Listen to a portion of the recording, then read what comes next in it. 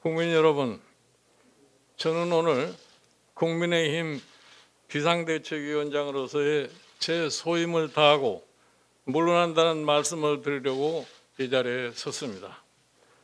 국민의힘 오세훈 후보와 박형준 후보가 압도적인 표 차이로 서울시장과 부산시장에 당선되었습니다.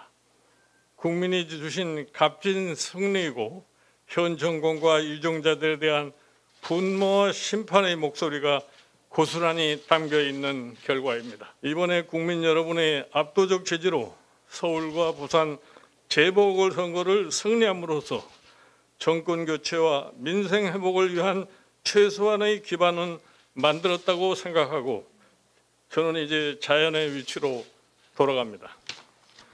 지난 1년간 국민의힘은 근본적인 혁신과 변화를 위해 나름대로 노력했지만 아직 부족한 점이 투성입니다.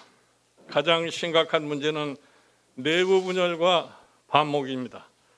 지난 서울시장 경선 과정에서 보았듯이 정당을 스스로 강화할 생각은 하지 않고 외부 세력에 의존해야 한다든지 그것에 더하여 당을 흔들- 뒤흔들 생각만 한다든지 정권을 되찾아 민생을 책임질 수권 의지는 보이지 않고 오로지 당권에만 욕심을 부리는 사람들이 아직 국민의힘 내부에 많습니다.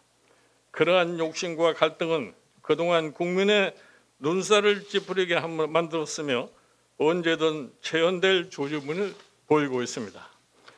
이번 지방선거의 결과를 국민의 승리로 겸허히 받아들이지 않고 자신들이 승리한 것이라 착각하면서 개혁의 고삐를 늦춘다면 당은 다시 사분오열하고 정권 교체와 민생 회복을 이룩할 천재일우의 기회는 소멸될 것입니다. 대의보다 소의, 책임보다 변명, 자강보다 외풍, 내실보다 명분에 치중하는 정당에는 미래가 없습니다. 국민은 이러한 정당에 더 이상 희망을 갖지 않을 것입니다. 구- 부디 국민의 힘이 더 많이, 더 빨리, 그리고 더 결정적으로 변화하여 국민의 마음에 깊, 더욱 깊숙이 다가갈 수 있기를 간절히 소원합니다.